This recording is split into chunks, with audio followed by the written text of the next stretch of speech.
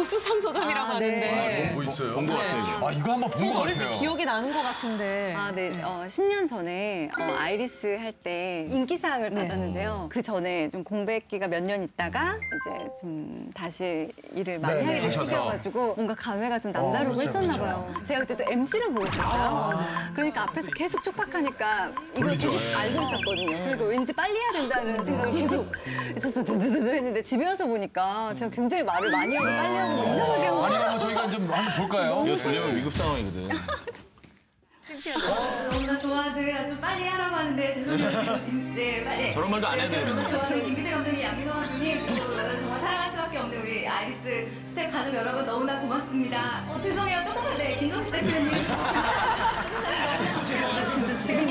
나무 가족 여러분. 아, 저거 빠르게, 빠르게 가는 게 아니죠? 네. 네. 동안 많이도 아팠지만 너무 고생 많이 한 우리 어 기용 씨, 진짜 죄송해요. 어, 기용 씨 그리고 최고 스타일리스트님 우리 애련 언니, 어 그리고 동미 머리 이렇게 예쁘게 잘라서 너무나 고맙고요.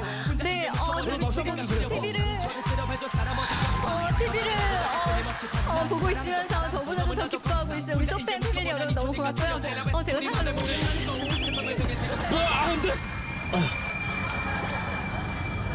어, 제가 상을 너무 오랜만에 받아서.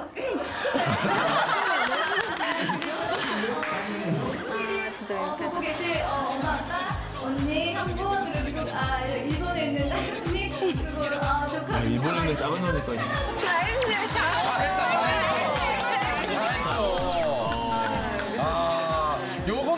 또.